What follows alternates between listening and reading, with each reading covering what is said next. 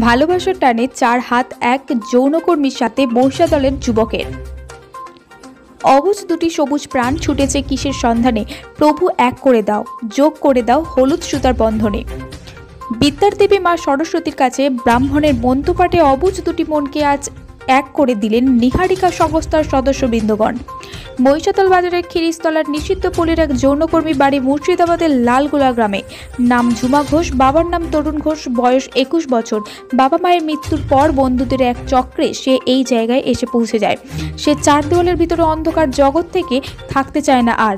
সে সংসার করে মা হতে চায়। ঝুমা মা ডাক শোনার জন্য আকুল ব্যাকুল হয়ে ওঠে। মহিষাতল থানার বাসুলিয়া গ্রামের বাসিন্দা ছোট্টু দাস, বয়স ছাব্বিশ, বাবার নাম সনাতন। দাস ছোট্টু জীবিকা হিসেবে হোটেলে ব্যবসায়ী।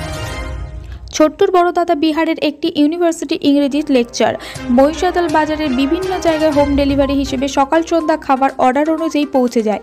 সে ওই পল্লীতে সকাল সন্ধ্যা খাবার পৌঁছে দিত। সেই সূত্রে যৌনকর্মী ঝুমা ঘোষের সঙ্গে তার ভালোবাসার মিলন ঘটে। দুজন দুজনকে খুবই ভালোবাসে। তারা পরস্পরকে সংসার করার প্রস্তাব দেয়। দুজনেই রাজি হয়ে যায় সংসার করার জন্য। মহিষাদলের একটি সমাজসেবী সংস্থার নিহারিকা।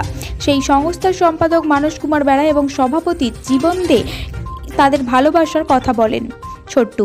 আজ দুপুরে ছোট্টুর বাবা সনাতন দাস এবং তার দিদি জামাইবাবু ক্লাব প্রাঙ্গণে উপস্থিত হয়। তাদের উপস্থিতিতে সংস্থার সমস্ত সদস্যবৃন্দগণ, ব্রাহ্মণ এবং বিবাহ রেজিস্ট্রার অফিসারকে সংস্থার ভিতরে ডেকে বিদ্যার দেবী সরস্বতী মায়ের সামনে একটি বিবাহ বন্ধনের আনুষ্ঠানিক অনুষ্ঠানের আয়োজন করে।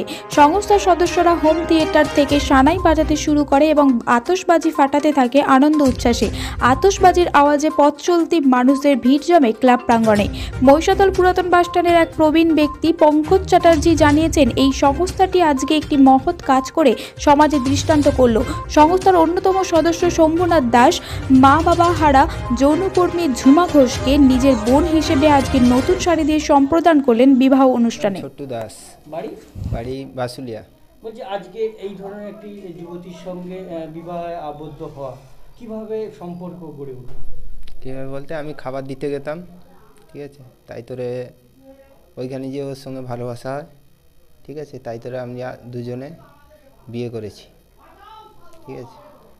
আমাদের ঘরের পরিবারেরও সবাই মেনে নিয়েছে তাই তোরে আমরা দুজনে বিয়ে করেছি।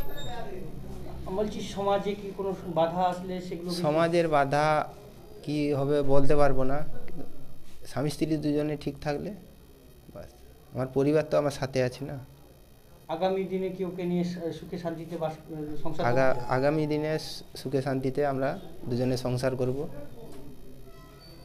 আজকের এই এই মুহূর্তটা কেমন লাগছে?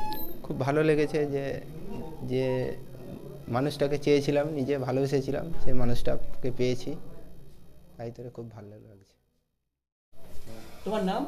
ঝুমা ঘোষ। আজকে যে এই যে বিয়ে আবদ্ধ হলে কেমন লাগছে? ভালো। হ্যাঁ? ভালো।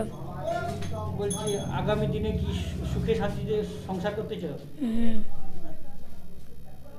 বলছি এ- এই জগতে আসা কেন? এই এর আগে মানে এই এই জগতে আসা কেন? পরিস্থিতির চাপে এসলাম বাড়িতে কি অভাব? হুম। সেই কারণে কি এখানে আসা? হুম। আজকের কেমন লাগছে? ভালো লাগছে। Ganesh art gallery. ভাস্কর্য শিল্পের বৈচিত্র্যতায় এক অনবদ্য প্রতিষ্ঠান। আমাদের এখানে বিভিন্ন ছবি অনুযায়ী নিখুঁতভাবে যাবতীয় পাথরের মূর্তি তৈরি করা হয়। ঠিকানা, সোনাময়ী দাসপুর, পশ্চিম মেদিনীপুর।